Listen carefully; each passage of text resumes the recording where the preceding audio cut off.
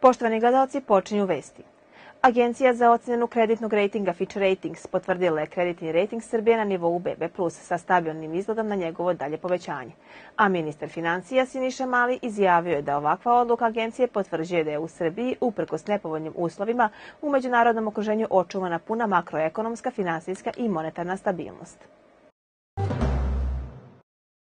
Izaslanik predsjednika Republike Srbije Aleksandra Vučića, podpredsjednik vlade i ministar odbrane Miloš Vučević otvorio je sinoć manifestaciju Slovačke narodne svečanosti u Bačkom Petrovcu. Obraćajući se okupljenima, ministar Vučević istakao je da je istorija ovih prostora i na njemu naseljenih naroda burna i međusobno isprepletena, saopštilo je Ministarstvo odbrane. Autonomna pokrajina Vojvodina raspisala je drugi konkurs za dodelu sredstava za sufinansiranje nabavke novih pčelinih društava i nabavku opreme za pčelarstvo, košnica i kontejnera u 2023. godini. Cilj konkursa je unapređenje pčelarske proizvodnje i proizvodnje meda u Vojvodini. Maksimalan iznos bespovratnih sredstava po prijavi ne može biti veći od 300.000, odnosno 350.000 za podnosioca prijave.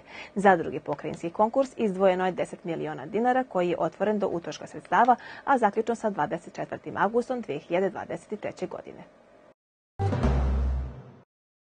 Na području grada Sremska Mitrovica povećava se broj gazdinstava na kojima je otkrivena afrička kuga svinja. U cilju zaštite od daljeg širenja u mitrovačkim selima postavljeni su rezervoari za dezinfekciju. Vrši se dezinfekcija ulica, a u planu je i postavljanje dezobarijera na ulazu u sela. Stočari su po nalozima veterinarskih stanica preduzeli sve preventivne mere.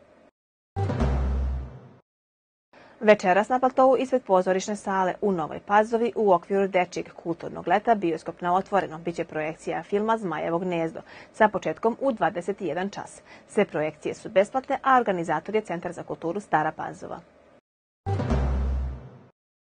Putnička motorna vozila na graničnom prelazu Horgoš na izlazu iz zemlje čekaju 3 sata, a na ulazu pola sata saopštio je Automoto Savez Srbije. Prema informacijama Uprave granične policije na prelazu Preševo na izlazu iz zemlje, autobusi čekaju 1 sat, a putnička vozila 40 minuta. Na gradini putnička vozila također na izlazu čekaju pola sata, a na gostunu 20 minuta. Ovog vikenda počelo je prvenstvo za lokalne futbalske klubove u Staropazovačkoj opštini. U prvom kolu Srpske lige Grupa Vojvodina Podunavac će sutra na svom stadionu u Belegišu dočekati železničar iz Indije. U prvom kolu Vojvođanske lige Grupa Jug Dunav iz Starih Banovaca igra protiv ekipe TSK u Temerinu. Jadran će pred svojim navijačima u Glupincima ugostiti veternik, a radnički iz Nove Pazove igra u Pećincima protiv ekipe Donji Srem 2015. U prvom kolu Sremske lige Sremac iz Vojke sutra će dočekati napredak iz Popinaca. Sve utakmice počinju u 17 časova.